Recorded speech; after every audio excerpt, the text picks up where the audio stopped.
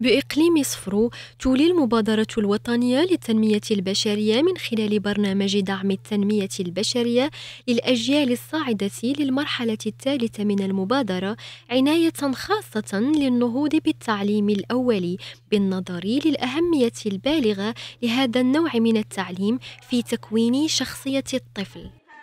الحمد لله انطلاقه الموسم الدراسي نعرف واحد انطلاقه بشكل سلس. آه كاين استقرار على جميع المستويات.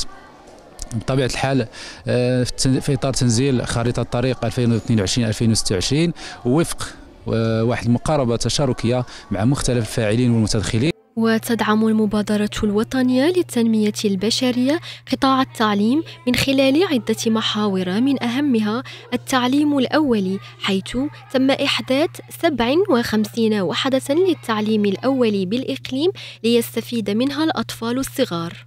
هاد الوحدات هذه اللي قدرنا بالتدخل ديال كذلك ديال آه القطاع ديال التعليم القطاع الوصي أننا نوصلوا نتعداو دابا النسبة ديال 95% ديال آه، الأطفال الصغار اللي التحقوا بالمقاعد ديال التعليم الأولي. عند افتتاح هذه الوحدة ابتدأنا ب 12 طفل آه، والآن آه، يعني في ازدياد كبير وصلنا إلى عدد 22 طفل ومرتقب أنه سيكون عدد في السنوات القادمة عدد كبير يعني إن شاء الله من الاستفاده من هذه الوحدة. الموحدة وتحرص المبادرة الوطنية للتنمية البشرية على دعم الولوج للتعليم الأولي لا سيما بالوسط القروي وتحسيس الساكنة بأهمية هذا النوع من التعليم في مساعدة التلميذات والتلاميذ على الاندماج السلس في التعليم الابتدائي ومحاربة الهدر المدرسي.